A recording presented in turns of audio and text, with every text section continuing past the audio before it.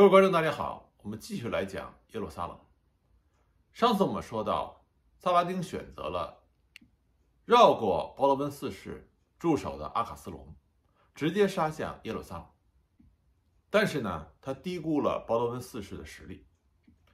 就在萨拉丁朝着耶路撒冷行进的时候，鲍德温四世、雷蒙德三世率领着他们的部队和大约八十名来自于加沙的圣殿骑士会师。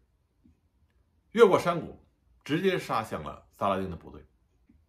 当时萨拉丁的军队完全没有防备，很多萨拉丁的士兵都外出到乡下进行劫掠去了。萨拉丁的军队猝不及防，只能仓促地组织松散的战阵进行防御，就陷入了全面的混乱。因此，他们和十字军的部队一接触，很多部队就直接溃散了。最终的结果呢？就是萨拉丁的部队大部分被歼，萨拉丁本人遭遇到了惨败，他的军队被打得七零八落，他本人也差一点就倒在了十字军骑士的剑下。后来是幸亏他的卫队拼死作战，这才掩护萨拉丁成功的逃脱。可以说，包德温四世取得了一场完全的大胜。而在萨拉丁撤退路上，贝都因部落。得知他被击败的消息，就不断的从侧翼袭击他的部队。当萨拉丁撤回埃及的时候，他的部队只剩下出发时候的不到十分之一。当然，十字军也并不是没有付出代价。根据医院骑士团大团长在事后的记载，十字军方面也损失了一千一百人，还有七百五十人受伤。对于耶路撒冷王国来说，蒙吉萨战役是一场伟大的胜利。这已经濒临绝境的耶路撒冷王国重新获得了生机，也让十字军们看到了希望。对于鲍德温四世而言，蒙吉萨战役也具有着重大的意义。在这次作战中，鲍德温四世不顾自己身患重病，一马当先，带领他麾下的士兵冲锋陷阵。他的英勇表现不输于任何一个十字军的骑士。正是因为有他的激励。在数量上处于明显劣势的十字军将士，才能一次一次地击退萨拉丁的反攻，最终取得大胜。当时民间呢就有传闻，说在战斗最激烈的时候，在鲍德温四世的身上出现了圣乔治的影子，这就让耶路撒冷王国的臣民们更加相信，这位鲍德温四世是上帝眷顾的真命天子。经过这次作战。鲍德温四世的地位迅速的提升，他的权力也得到了极大的巩固。但是蒙吉萨一战之后，鲍德温四世的身体状况迅速的恶化。到了178年，鲍德温四世的脸部已经被麻风病折磨的没有办法再见人了，所以只好戴上了银子打造的面具。关于1179年，萨拉丁得到消息，鲍德温四世病重。所以呢，他整军备战，卷土重来。萨拉丁率领着埃及大军就侵入了西顿地区。鲍德温四世和雷蒙德再次率领十字军出征，去抗击萨拉丁的军队。这次战斗呢，发生在泉水谷。当时，鲍德温四世和雷蒙德登上高地，远眺泉水谷。当他们看到萨拉丁的营帐的时候，他们就决定马上从山上。向下，对平原地区的萨拉丁大军发起冲击。他们认为利用这种地利上的优势，可以迅速的击溃萨拉丁。但是他们这个决定过于轻率了，因为十字军中的大部分的步兵部队，因为长途跋涉，这个时候非常的疲惫，他没有办法跟随着骑士，迅速的沿着陡坡向下直进。那在冲击的过程中，他们首先碰到了萨拉丁的先行部队。那么，因为地理上的优势，居高临下向下冲击的十字军很快就击溃了萨拉丁的这些先行部队。被这个成功所鼓舞，那么十字军的骑士在圣殿骑士团大团长和雷蒙德伯爵的率领下，就向着萨拉丁的大军杀去。可他没想到，萨拉丁这个时候早已经有所准备。他已经率领着他的穆斯林大军严阵以待。处于冲击状态的十字军骑兵根本没有时间调整阵型，就陷入到了萨拉丁大军的重围之中。尽管十字军骑士们奋勇作战，但是在人数巨大的差异面前，他们的英勇抵抗只是坚持了一会儿，萨拉丁就彻底击溃了他。那这个时候，巴勒温四世的大部队对此还一无所知，还在之前的战场收集战利品，并且休息。可萨拉丁率领大军已经很快就杀到了那里，巴勒温四世大败，很多人被抓为俘虏。泉水谷之战以萨拉丁的大胜而告终。公元一一八零年之后，巴勒温四世的麻风病越来越重，他意识到。自己很有可能像自己的那些先辈一样，猝然驾崩。而且呢，根据当时中世纪的观念，夫妻生活会造成麻风病的传播，所以鲍德温四世一生都没有亲近过女色。这也意味着他没有后代。为了给自己身后的耶路撒冷王国做准备，鲍德温四世让自己的姐姐西比拉公主和盖伊结婚。鲍德温四世希望盖伊在自己不能行动的时候，作为摄政接管这个国家。但不幸的是，耶路撒冷王国的很多巨头对盖伊怀有深深的敌意，这就造成鲍德温四世始终不能将权力移交，只能继续亲自掌权。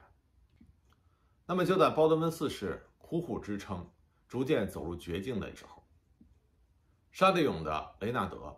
成为了压倒耶路撒冷王国的最后一根稻草。公元一四七年，沙德勇的雷纳德跟随着第二次十字军东征来到了耶路撒冷。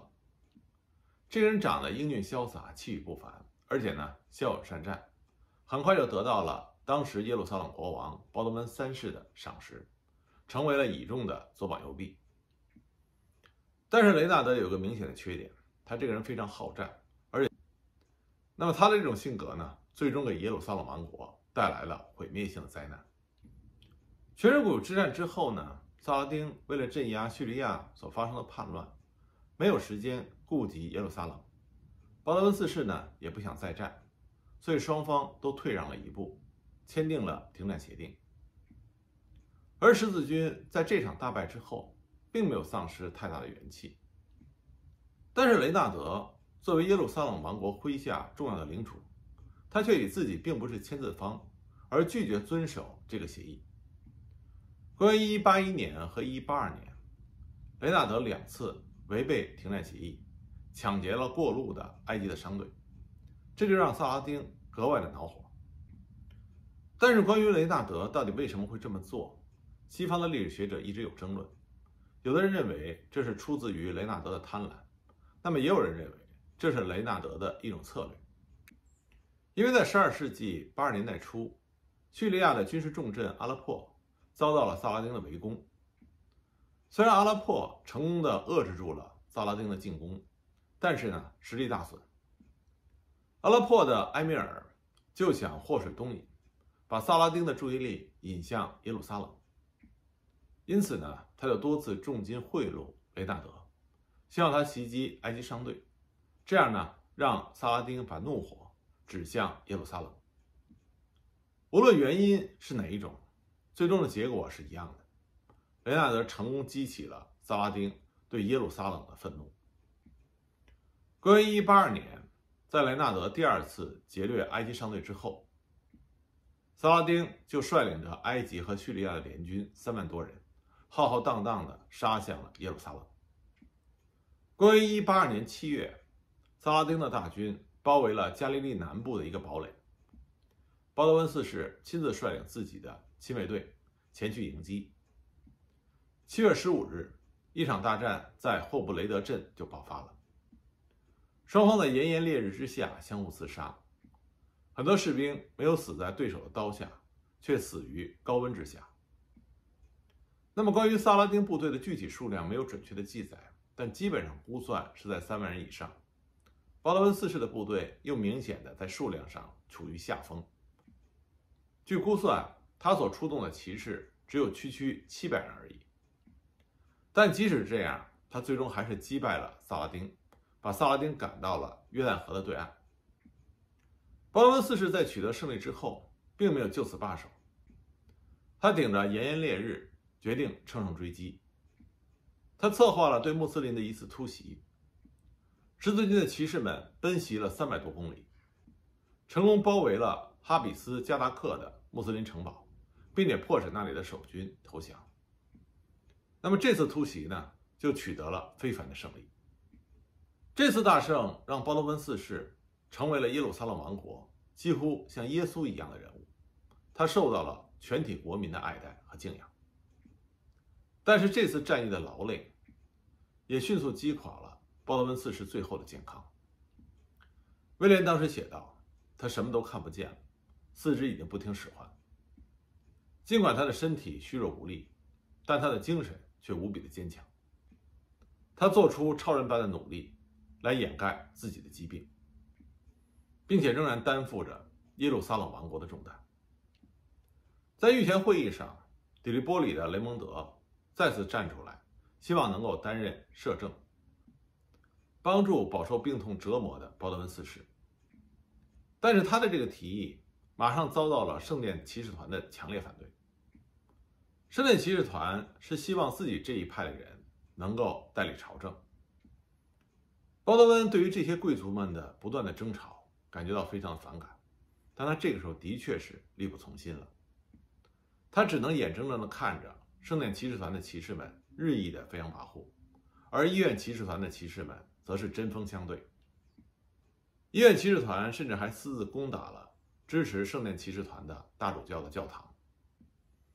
鲍德温四世的病越来越重，他也越来越无奈。而耶路撒冷王国的内部政治斗争也日趋激烈。当铁利波里的雷蒙德和安条克公爵伯西蒙德率领大军开往耶路撒冷的时候，已经病重的鲍德温四世。居然怀疑自己的良师益友雷蒙德想发兵反叛，这就使得鲍德温四世对他一直以来以为左膀右臂的雷蒙德产生了怀疑，失去了信任。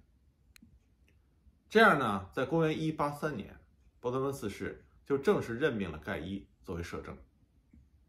那么，盖伊并不是一个成功的领导者，在一次和萨拉丁军队的交战中，盖伊想方设法。避免和萨拉丁的军队发生正面的交锋。最后呢，萨拉丁撤回了大马士革。那么，有相当多的历史学家认为，尽管盖伊的这种灵活的策略保全了在数量上处于劣势的耶路撒冷王国的军队，但是他这么做没有办法振奋耶路撒冷王国的人心，也无法让耶路撒冷王国摆脱他的困境。